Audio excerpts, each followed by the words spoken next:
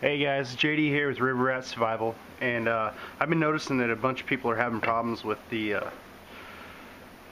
with getting a spark off of flint and steel. So I thought I'd kind of give you an idea of how I do it here. I've got my Hudson Bay tobacco tin flint kit. These are really nice. Have a uh, magnifying glass on the top of high power. Uh, okay, this it's it's really simple. It's it's all about your angle of attack. Okay, so uh,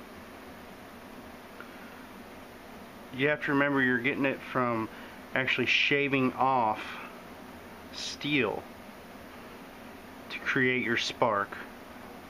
Alright, and high carbon, you know, high carbon steel is high carbon steel.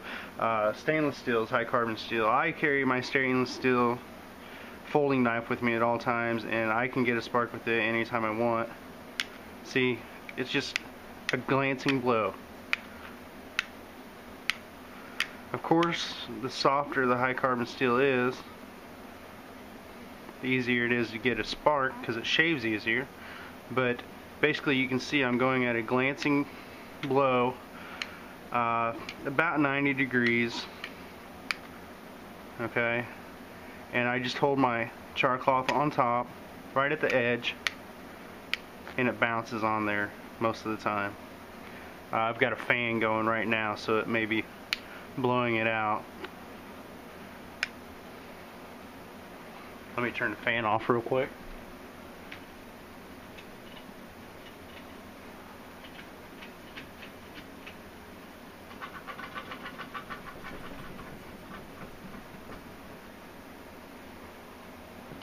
So just a glancing blow and it's really easy. You don't want to be jamming it into it like this.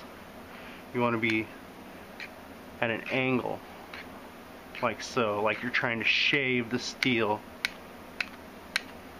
Okay? And I've made a video before on finding the uh, stones that'll work you may want to check out uh, basically anything that hardness over uh, I don't remember what the Rockwell scale of it is but uh, check it out. Uh, quartz flint any of the rocks that look smooth like this